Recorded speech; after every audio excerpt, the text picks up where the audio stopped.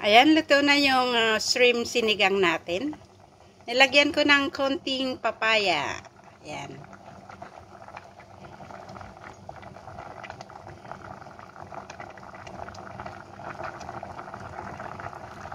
Hmm, bango. So, kainan na tayo, guys.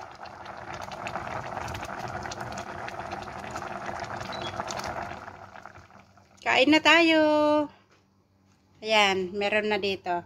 Yan ang ating sinigang na shrimp at papaya. Yan ang meron tayo ngayon, guys. Walang iba.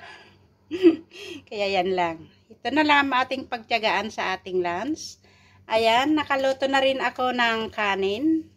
Di pa ako nakapag, ano, nakapag uh, kuha. Ito, luto na rin.